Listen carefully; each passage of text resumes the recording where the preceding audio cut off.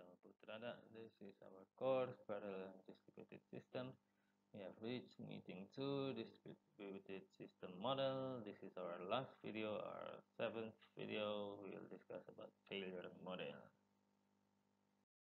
So, like its name, failure model is the failure of sending a message in our distributed system.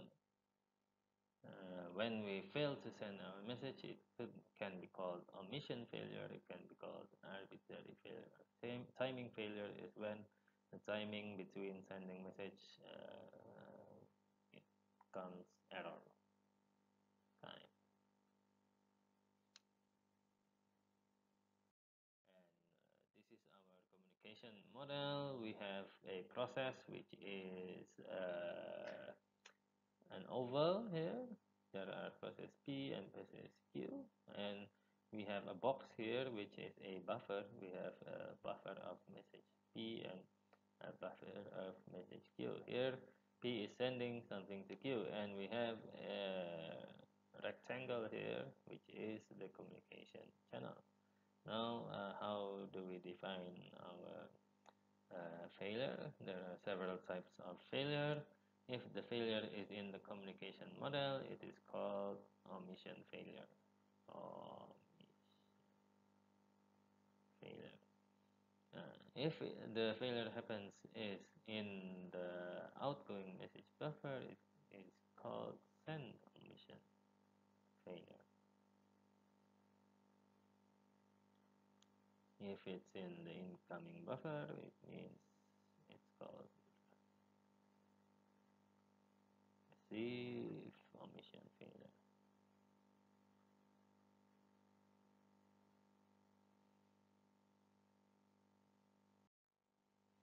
If it's in the process, there are two possibilities. First, if we don't know why, it's called crash. Uh, but if we know why and it's visible, it's called fail stop. so fail stop uh, usually gives us an error message. If crash it only blacks out and we don't know what happened. And it disappears.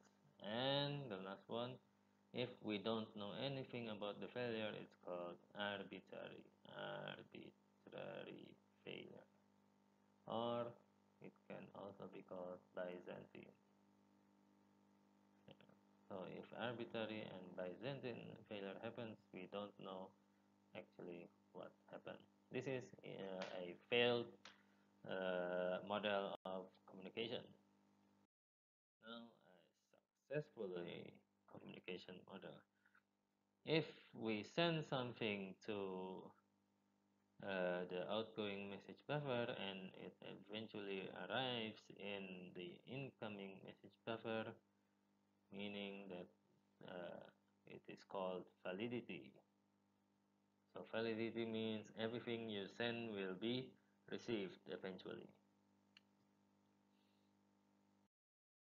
And then if you send X in the outgoing buffer and it receives as X also, not Y or something else. So what you send is what you receive then it is called integrity. Nothing is changed in communication channel. So uh, if validity and integrity happens in your channel it means that you have a reliable channel. Other than that it means that you have a channel that has failed.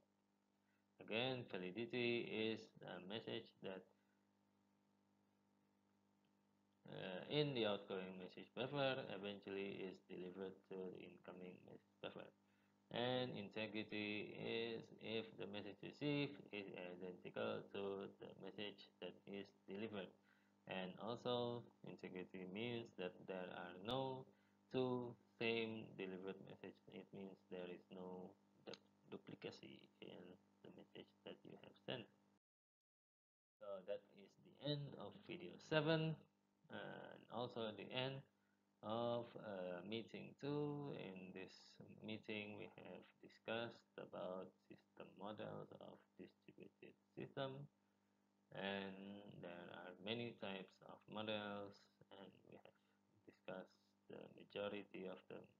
Thank you for your attention in keeping up with the videos. I will meet you in uh, the next meeting